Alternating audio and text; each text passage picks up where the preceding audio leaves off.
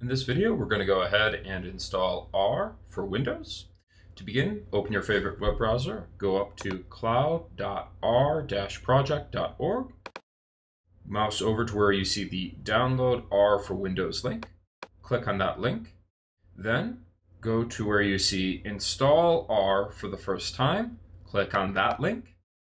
Once you're on the Install R for the first time page, go over to where you see Download R 4.2 for Windows. At the current time of this recording, uh, that is the latest version of R. If you go ahead and click the download option, what will happen is in the lower left hand side of your web browser, R 4.2 for Windows will download. Once it's done, click on the icon to launch um, the installer. Press yes to allow the installer to make changes to your system. Go ahead and press OK if you're comfortable using English as the installer language.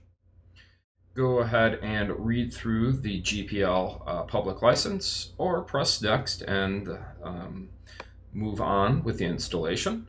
Here you can choose to change the default installation path for R. I generally would recommend keeping the default, so go ahead and press next. Then leave all of these options uh, as is and press next.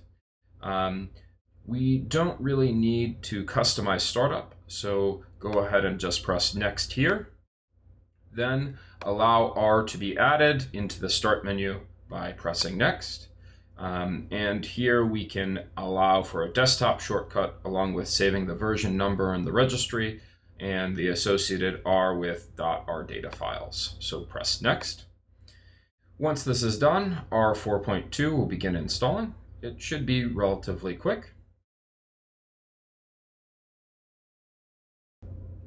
Once the installer is done, go ahead and press finish. Go ahead down to the start menu, click on the start menu, mouse down until you see R and click on the R button. Then you can see R 4.2.0 click that to launch R 4.2.0 and we can verify that it works by typing 1 plus 1 and you'll see that we get 2.